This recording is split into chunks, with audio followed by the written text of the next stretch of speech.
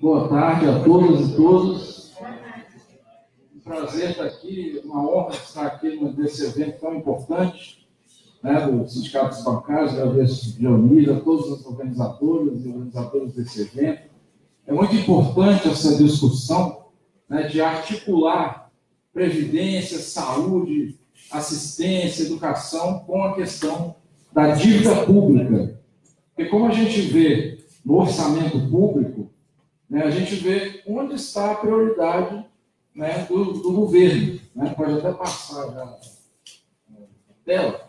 Nós, da Auditoria Cidadã da Dívida, nós sempre fazemos esse gráfico de pizza, né, o famoso gráfico de pizza do orçamento federal. Né? Em 2017, por exemplo, nós tivemos aí né, essa parte amarela do gráfico, que a gente pode ver aí bem destacado, 39,7% do orçamento destinado para juros e amortizações, né, que é o pagamento principal da dívida. Né? E o governo dizendo que o rombo está na Previdência. Né? Previdência é aquela parte verde à direita que tem 25,66%, ou seja, se gasta menos com a Previdência, que beneficia dezenas de milhões né, de brasileiras e brasileiros, se gasta menos com isso do que com a dívida pública que beneficia principalmente né, grandes investidores né, e bancos. Né? Então a gente começa a entender qual que é realmente o verdadeiro rombo do orçamento. Né? E aí é interessante a gente observar também os contra-argumentos. Né? Sempre que a gente fala em dívida pública, né, com o governo, ou com analistas neoliberais de direita, ou com aqueles famosos blogs né, de, de ultradireita, né, eles sempre gostam de ficar dizendo né, que a dívida não tem por que questionar, não tem problema nenhum.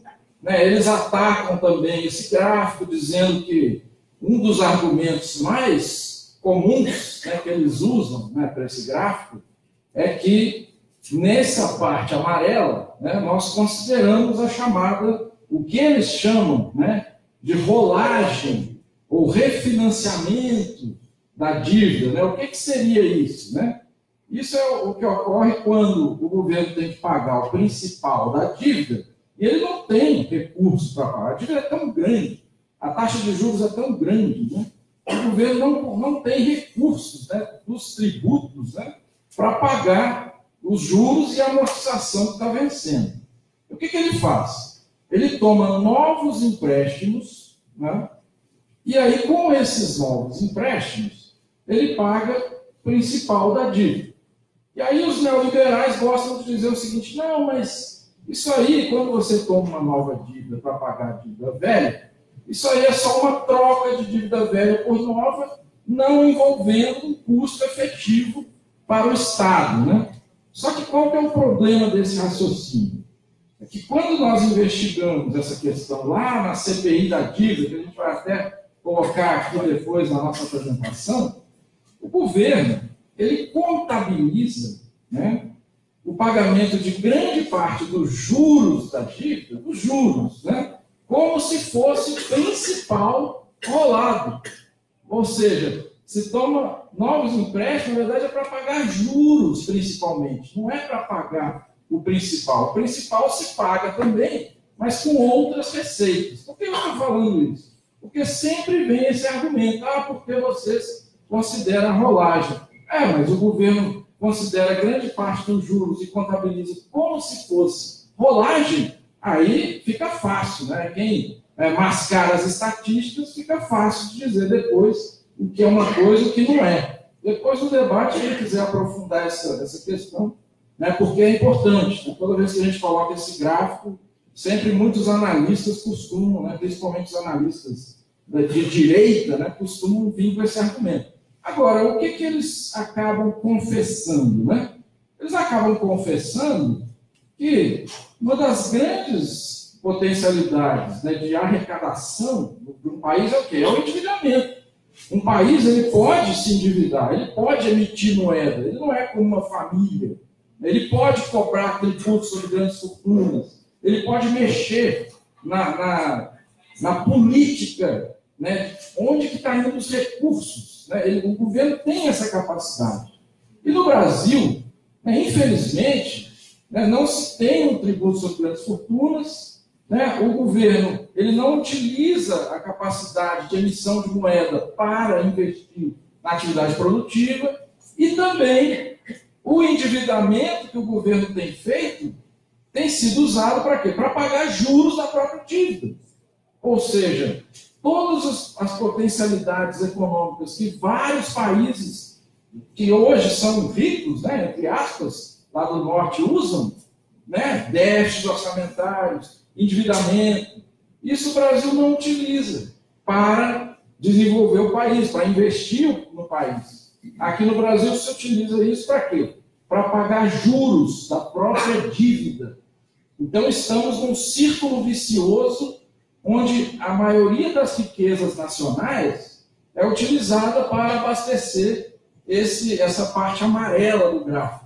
Então a gente pode até verificar, por exemplo, a área da saúde, né, que é a parte imediatamente embaixo da Previdência, né, 4,14%.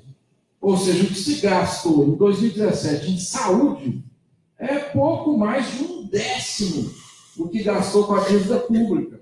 Né? A gente poderia pegar, por exemplo, a assistência social, que é o, o tripé né, da Seguridade Social, assistência, previdência e saúde, 3,35, menos de um décimo do que se gasta com a dívida pública. Então aí a gente começa a entender qual que é a prioridade do governo. Né? É atender à Previdência? É atender aos direitos sociais? Não é. Infelizmente a gente vê que é o pagamento dessa dívida pública. Pode passar. E aí, o que, que acontece? Né? O que, a gente poderia logo questionar? Né? Mas a dívida pública ela não serve para abastecer o governo de recursos para investir? Não, no Brasil é o contrário. No Brasil, ela serve para subtrair recursos, para subtração de recursos públicos. Por quê? Porque essa dívida, como a gente vai ver logo a seguir, ela é uma dívida que vem de quê? De juros sobre juros. Essa dívida, né, como a gente vai colocar logo depois, ela não serviu para se investir na saúde, na educação. Ela vem de juros sobre juros. E o maior beneficiário, setor financeiro. E o pior, ainda se utiliza desse círculo vicioso que eu coloquei agora, para quê? Como instrumento de chantagem para a implementação de reformas, né? Previdência, privatizações, ah, porque a dívida está explodindo, tem um déficit, então nós temos que fazer a reforma da Previdência, temos que privatizar tudo porque não tem dinheiro. Né? O, o, o, discurso é sempre esse. Ah, não tem dinheiro, não tem como. Né? Temos que fazer a independência do Banco Central para que o Banco Central seja, no jargão que eles usam, né? seja técnico, né? como se pudesse um órgão político ser técnico, né? ser isento. Né? Não tem jeito. Ele já é submisso ao mercado financeiro. E aí, para completar esse círculo vicioso, o que, que eles acabam fazendo? As políticas do endividamento público, né, quais são principalmente? Juros altos, né? mesmo esse juro aí de hoje de 6,5%, parece baixo, né? mas você olha no país do norte, tudo juro negativo, né? se olhar comparar com a inflação, assim que eles tentam combater a crise. Aqui não, aqui são juros sempre altos, e se a gente for olhar a taxa de juros efetiva da dívida pública, que paga efetivamente os títulos da dívida pública, é cerca de 10% ao ano, muito maior do que a Selic. Então, por que eu estou colocando isso? Porque essa política que prioriza o pagamento da dívida pública, o que, que é? Ajuste fiscal, altas taxas de juros, redução na base monetária, tudo isso gera a crise, gera a recessão. Como foi bem colocado aqui na palestra anterior, num momento de crise, se aproveita esse contexto exatamente onde as pessoas não têm os direitos, exatamente para ficar parecendo que não tem como mesmo. Não, não tem jeito. Tem que fazer mesmo. As pessoas, muita gente inclusive na eleição, caiu nessa conversa de que né, muitos eleitores acabaram acreditando, não, realmente não tem como. Tem que fazer mesmo a reforma da Previdência, tem que fazer mesmo a reforma trabalhista, porque não tem jeito.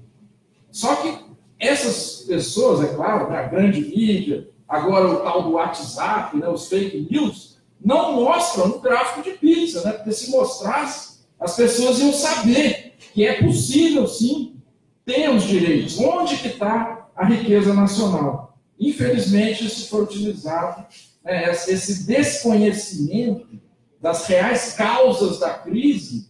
Né, se falou que é ah, porque é comunismo. Que isso? É, é, é ajuste fiscal. Olha só como que se denegriu a imagem do socialismo. Né? Tem nada a ver. Foi um grande ajuste fiscal que aconteceu. Pode passar. E aí, como sempre, né, vem as falácias. Né? Atual governo sempre né, falando em déficit da Previdência, utilizando-se né, do, do, conceito de déficit, como sempre, né, dizendo que no ano que vem vai ter um déficit de 218 bilhões no regime geral de Previdência. Só que isso aí, né, como a gente sabe, é a mesma coisa que rasgar a Constituição, porque pelo artigo 194 da Constituição, a Seguridade compreende um conjunto integrado de ações de iniciativa dos poderes públicos e da sociedade, destinadas a assegurar os direitos relativos à saúde, previdência e assistência social. E aí o principal, artigo 195, a Seguridade Social, ou seja, o que é a Seguridade Social? Saúde, previdência e assistência, será financiada por toda a sociedade, de forma direta e indireta, nos termos da lei, mediante recursos provenientes do orçamento da União, dos Estados, do Federal, municípios, e das seguintes contribuições sociais. E aí, a Constituição coloca folha de salários, faturamento, como, por exemplo, a COFINS, né, que arrecada centenas de bilhões de reais, o lucro, a CSLL, né? como que o governo fabrica o déficit da Previdência? Ele considera como receita da Previdência só a folha de salários, a contribuição sobre o INSS, e desconsidera a COFINS, a CCLL. Né? Agora, quando a gente considera toda a Seguridade Social, ou seja, todas as receitas da Seguridade, né, inclusive a COFINS e a CSLL, e incluímos também as despesas com saúde e assistência, nós temos, pode passar, isso aqui, que é o resultado da Seguridade Social. Né? Se a gente olha, calculado pela ANFIP, Associação dos Auditores Fiscais da Receita Federal do Brasil, os contínuos superávites acumulados, né, que nós temos desde 2005, né, e como eu coloquei antes, né, a própria crise econômica fabricada pelo próprio modelo neoliberal de endividamento público, que leva a altas taxas de juros e corte de gastos sociais, ajuste fiscal, gera uma, uma tremenda uma recessão. E o que, que acontece com a arrecadação? A arrecadação, claro que cai. Né? Aí o que, que acontece? Vêm os defensores da reforma e falam assim: ah, viu, 2016 deu déficit na seguridade. Então tem que fazer reforma. Pelo contrário, o déficit não tem nada a ver com o suposto excesso de despesa ou de investimento na seguridade. O déficit tem a ver com queda na receita, devido a uma política recessiva. Né? Então, os diagnósticos né, eles são viesados de uma forma a justificar a reforma. Mas quando a gente olha o superávit acumulado da Seguridade Social, desde 2005, a gente vê que tem mais de um trilhão de superávit acumulado nos anos anteriores. Não é por outra razão que, se a gente olhar a conta única do Tesouro, hoje, na data de hoje, o que o governo tem em caixa, né? lá, pronto para gastar. Ninguém fala isso, a grande mídia omite que hoje no caixa do Tesouro Nacional existe 1,2 trilhão de reais no caixa e não se fala nisso. Por quê? Porque a ideia é propagar a ideia de que o Estado está quebrado, para justificar as reformas. Quando o correto seria usar o que tem em caixa exatamente para isso serve o caixa do governo na época de crise. Exatamente para investir. Só a tributação sobre esse investimento já equilibraria o déficit, ou seja, tudo isso é um grande círculo vicioso. Né? Faz o ajuste fiscal, aumenta o juro, cai a arrecadação, aí dá déficit, aí diz, ah, viu, deu déficit, tem que fazer reforma, tem que cortar, tem que fazer essa emenda nefasta 95, a do congelamento dos gastos sociais, dos investimentos sociais, por 20 anos. Isso não existe em nenhum país do mundo. Congelar investimento social por 20 anos. Isso é um absurdo, principalmente quando a gente olha que o problema não é o excesso de gasto, o problema é a queda na arrecadação e, como eu coloquei, a falta de uma reforma tributária. Né? Precisa tributar os ricos, precisa tributar o setor financeiro, né? e, obviamente, precisa, como a gente vai colocar agora, auditar a dívida pública. Né? Agora, eu vou passar algumas telas, pode passar essa, pode passar mais uma, mais uma, eu vou avançar aqui, pode avançar. Né? Essa aí, eu só vou relembrar aí a proposta que está sendo colocada, né? que é o regime de capitalização, que a gente ouve aí o Paulo Guedes sempre defendendo, né? a proposta do governo é exatamente reduzir os direitos né, da, da Seguridade Social, da Previdência, para empurrar as pessoas para a capitalização, é claro. Eles querem isso. Né? E aí, obviamente, que vem né, os custos de transição. Né? Como é que vai financiar isso? Os atuais aposentados hoje são sustentados pelos atuais trabalhadores. Se os atuais trabalhadores passarem a contribuir para o fundo, quem vai financiar os atuais aposentados? Aí eles vão dizer, ah, aumentou o déficit, tem que fazer mais reformas. É tudo uma, uma grande armadilha. Além do mais, previdência é sinônimo de segurança, não de risco, né? porque a capitalização ela é incerta. Né? O Chile que diga. Né? Pode passar. Bom, aí vem o governo e fala: ah, mas vocês são irresponsáveis. Vocês que defendem rever a auditoria, fazer a auditoria da dívida, vocês, na verdade, estão querendo fazer o calote, vocês são irresponsáveis. Se tem uma dívida, você tem que pagar. Né? Ele sempre vem com esse discurso. Né? Mas nós né, não defendemos calote. Nós defendemos auditoria para responder todas essas perguntas que estão aí. Somente uma auditoria pode responder. Pode passar. No Brasil, a auditoria da dívida está prevista na Constituição Federal de 88. No plebiscito popular de, do ano 2000, mais de 6 milhões de votos, 6 milhões de pessoas votaram não ao pagamento da dívida sem a realização da auditoria prevista na Constituição. E aí, como não foi feita a auditoria, nós criamos então a auditoria cidadã da dívida, que é uma auditoria feita pela sociedade. Conseguimos a CPI da dívida pública né, em 2009, 2010, mas não, não conseguimos aprofundar na análise. Por outro lado, né, porque a CPI foi muito pequena, muito curta, né, e não conseguimos aprofundar para fazer uma verdadeira auditoria. Mas descobrimos muita coisa. Né? Eu sei que já está terminando aqui o meu tempo, mas passa duas telas para frente, mais uma. É, vejam só, qual que é, qual que é a grande questão né, sobre a dívida pública. Hoje em dia nós temos essa tal de dívida interna. Né? E o que é dívida interna? É o que o governo deve em reais. Né? Porque tinha a tal da dívida externa, agora foi reciclada. Né? Agora nós temos a dívida interna que também beneficia os estrangeiros. Né? Os estrangeiros vêm aqui também ganhar com a dívida interna. Né? Mas o principal disso aí é responder uma perguntinha simples. Como é que uma dívida, sabe, de 86 bilhões de reais no final de 94, para, por exemplo, em 2015, para 4 trilhões de reais. que pode uma dívida sair de 86 bi para 4 tri em 20 anos? Né?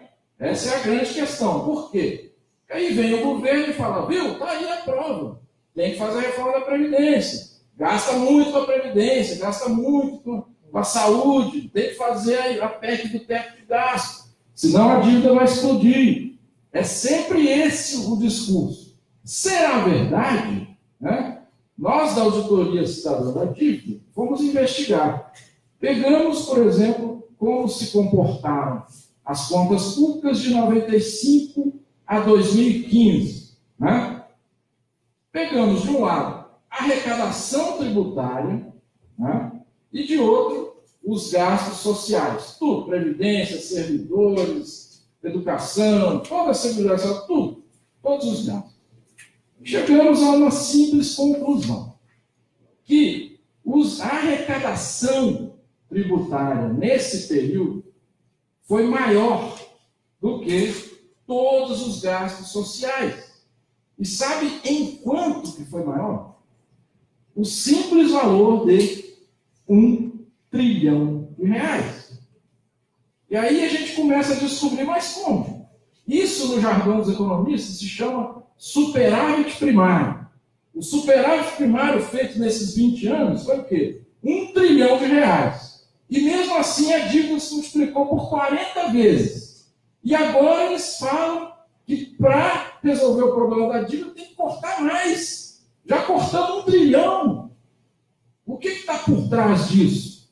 Uma simples constatação de que essa dívida ela não tem nada a ver com um suposto excesso de gasto social. Já provamos.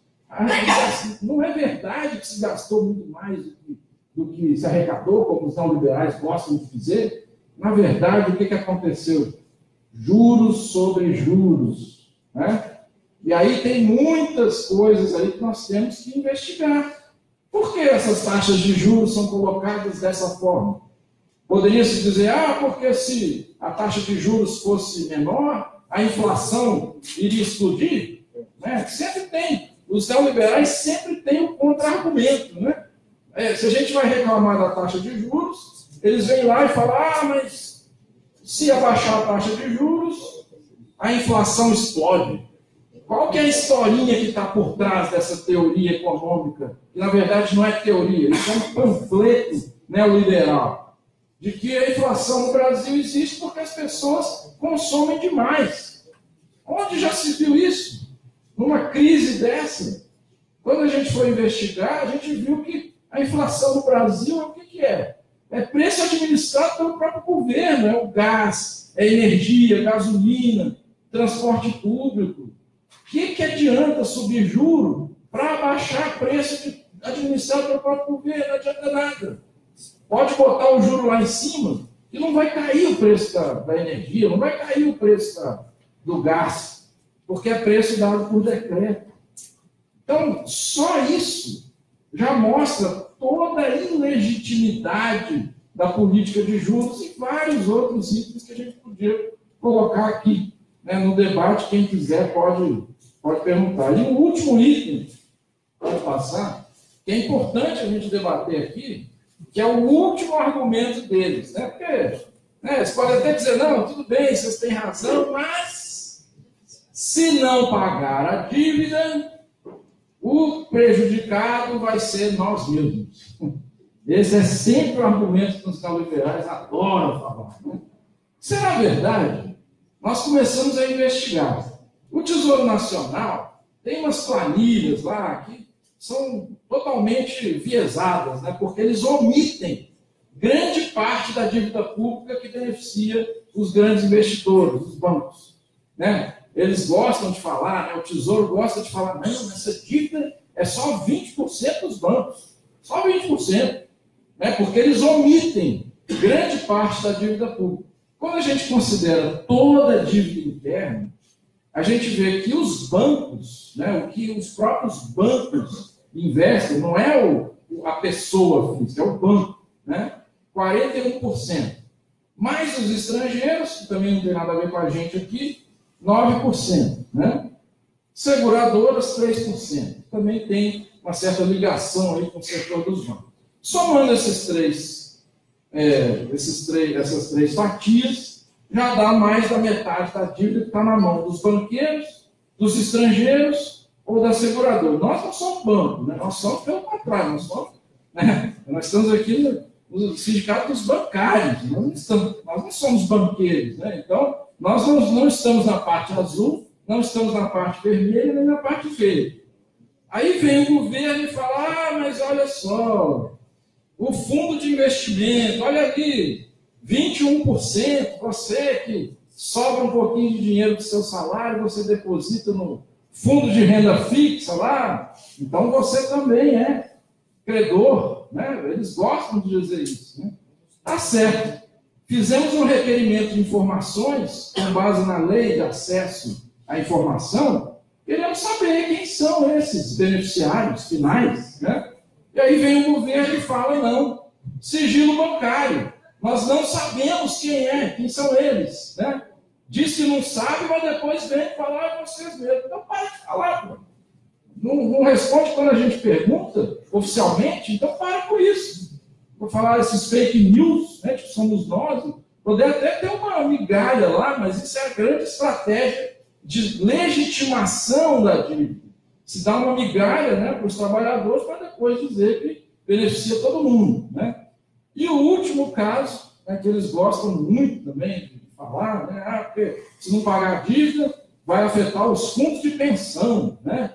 Ah, os trabalhadores investem em fundo de pensão e tal, e aí, se não pagar a dívida, os fundos de pensão vão quebrar. Aí eles mostram esse dado aí da Previdência. Tem 19% da dívida pública interna federal que está nas mãos de entidades de previdência. Aí a gente vai investigar, mas espera aí, que entidades de previdência? Eles misturam aí tanto os fundos de pensão, que são as entidades fechadas, como as entidades, a, a previdência aberta que qualquer um vai lá e coloca. Pode chegar um bilionário lá e fazer um fundo privado de previdência.